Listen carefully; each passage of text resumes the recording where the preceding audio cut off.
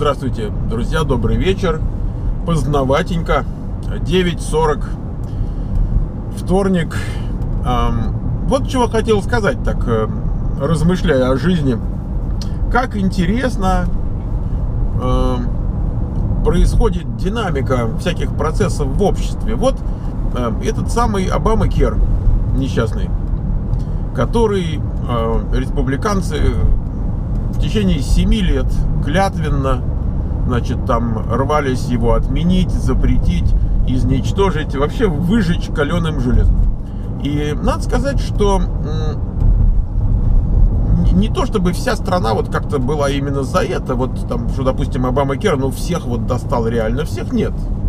Ну, вот, скажем так, тех, кто поддерживает республиканское, как бы, видение мира, такое консервативное, это не, было хорошим делом с самого начала. Ну и, собственно, они и сейчас так, в общем-то, в большинстве за то, чтобы его абсолютно куда-нибудь вот там отозвать. Хотя среди республиканцев тоже там процентов, я боюсь соврать, там 15-12, говорят, что, в общем-то, можно починить Обама Кер, не обязательно его так прям совсем там куда-то грохнуть, но, ну, в основном, конечно, за то, чтобы грохнуть. Это уже стало вопросом таким, как бы сказать, даже, я не знаю, мантрой такой, знаете, ну, ну, меньше, чем грохнуть, не принимается.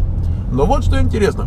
Все-таки, кроме э, тех, кто голосует за республиканцев и так как бы традиционно голосует за республиканцев, есть еще те, кто традиционно голосует за демократов, а есть еще люди просто нейтральные. Ну вот, вот скажем, я, я вполне нейтральный, я ни к какой там партии там не, не отношусь. Вот, и так как бы смотрю вот на, на то, на это. Я в чем-то консервативен, в чем-то либерален, так, гражданин, короче. И вот э, что получается? Что среди демократов идея совершенствования Обамы Кера очень популярна. То есть надо его не отменять, а улучшать. Это как бы видоизменять. Э, но среди независимых э, эта идея улучшать, а не отменять, тоже очень сильно превалирует. В итоге э, в обществе в целом, в обществе в целом Эм, идея отмены эм, Обама Кера, ну вот полностью, так сказать, отозвать, забыть и что-то на этом месте сделать с нуля, не безумно популярна. То есть, скажем так, э, гораздо популярнее идея его э, видоизменить, нежели его грохнуть. И вот сейчас происходит какое-то усилие со стороны республиканцев в Конгрессе, Эм, что, ну, как-то обидно им, действительно, вот в марте месяце они как бы уж совсем были близки к тому, чтобы сделать закон по поводу от, отзыва отмены Обама Кера и какая-то у них своя программа. Эм, и они как-то внутри республиканского, внутри, так сказать, группы республиканских законодателей в Палате представителей, так вот они не смогли сами с собой договориться. И там мы рассказывали об этом. Там что-то от них требовали, чтобы они прям немедленно, и чтобы срочно, и что вот как-то переговорный процесс им сломала энергетика Трампа, который ставил ультиматум и, и угрожал. Ну вот. А так они, в принципе, когда вот там сорвалось, они продолжают разговаривать. У них такой процесс-то, они привычные. Но что же, они все время там переговаривают, договариваются, компромиссы ищут. И вроде бы даже идет к тому, что э, вроде бы они сейчас возьмут, возьмут вот и примут этот самый закон.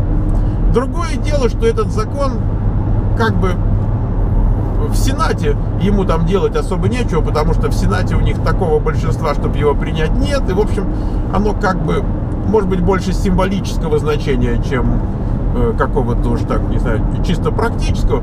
Но, тем не менее, идут обсуждения, идет борьба, идет э, какие-то ожидания, вокруг очень много всего. Но самое интересное состоит в том, что если они это сделают, если они добьются того, чего хотят, и э, что было главным козырем в их борьбе против демократов вот последние 7 лет, и э, ну, ну даже я не... То есть это фактически, вот эта борьба, она фактически привела их к победе на выборах, ну такой вот полупобеде, ну победе, да, можно сказать, президент теперь республиканец. Вот, и они, они за счет этого, то есть это главный козырь был, э, и такая непрерывная семилетняя истерика. И вот, казалось бы, но дальше получается, что общество, в общем-то, не этого хочет. А оно говорит, ну есть Обама Кер, ну давайте лучше сделаем, что То есть, фактически, если им удастся победить, то победа какая-то получается против себя. То есть, как бы, э, унтер-офицерская вдова, которая сама себя высекла, ну, если кто читал там классика, это не важно. Вот, получается, они сами себя и высекут. Э, и с криком «Мы победили», значит, э, еще больше ухудшит там рейтинги или там отношения в обществе там и так далее, и так далее, что, в общем-то, как бы, вот такая интересная динамика, понимаете? Если бы они в марте, в марте проскочили с этой реформы, опять остается Сенат, остается там что-то, можно было на демократов свалить очередной раз. Но вот сейчас вроде бы, да, как-то они так консолидируются, говорят, что консолидируются еще вот немножко, вот еще буквально неделька, и они договорятся. И, и до чего же они там договорятся-то? А, а общество отвергает. В общем, странно все это, очень странно. Я сам себя спрашиваю, Миша, говорю вот ты как хочешь? И я, честно говоря, могу сказать так, э, и те плохие, и эти. То есть, как бы, не, не, не республиканская версия, не э, Обама Кер э, не решают вопросы здравоохранения американского. Никак. Ну, то есть, вообще никак не решают. То есть, э, э, с одной версии или с другой версии одни и те же карманы будут набиты. Э, и, и, собственно, даже я не знаю, что там такое.